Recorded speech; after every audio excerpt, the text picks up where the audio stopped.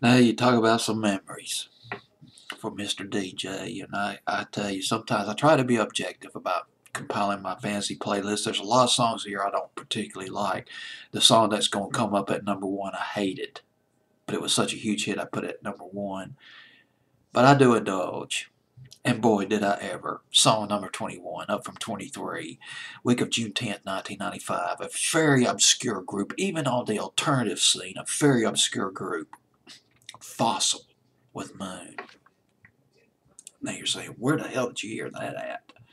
Hitline. I've already mentioned it.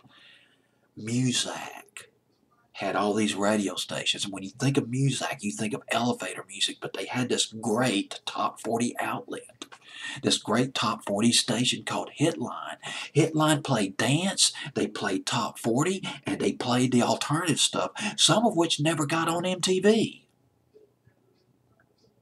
Such is the case with the song at number 21, Fossil. Hitline, I love you. I still love you. Fossil with Moon. Fossil, there's nothing on them on, on Wikipedia, songfacts.com, forget it. I somehow dug up a website. A guy made a com made a commentary on their album, so I managed to get a little bit of information on, on this group. They only came out with one album. They're from New York City. The lead singer was a guy named Bob Ogureck. O G U R E C K. He's now a real estate agent, works in real estate in New Jersey. Some of the other hits off the album, well, some of the other songs that come recommended off the album, I haven't heard it, but this fellow who did this website uh, put in a high recommendation for Ocean and Molly off this album. I don't know the name of the album by Fossil, but uh, gosh dog it, I just, this is, trying to think of the influences. It's garage. The garage bands of the 60s come to mind, but also some of the new wave of the 80s, the heavy guitars of the Smiths, uh, REM come to mind on this record. I loved it. It just gives me goosebumps, and the the video is great.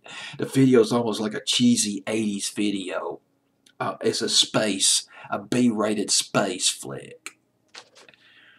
And when I say cheesy, in this case, I mean it in a good way. And uh, one other thing I got to mention about this group, though, Fossil, they were managed by a fellow, well, they were managed by a person named Hilly Kristal. Gosh, that's a big league manager right there. Hilly Kristal founded the legendary CBGB nightclub in New York City in 1973. Blondie, Television, Ramones, Talking Heads, the Patti Smith Group played there. They started there. House bands there. The legendary CBGB. But that's it. That's all I got to say about this record. I wish there was more.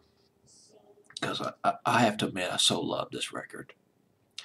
Actually, I felt so guilty about putting such an obscure record way up into the top 30 of my fantasy playlist that I put a song that I absolutely hated at number one. but I'll get to that later. This is Fossil with Moon at number 21, up two notches from 23, fantasy playlist June 10th, 1995.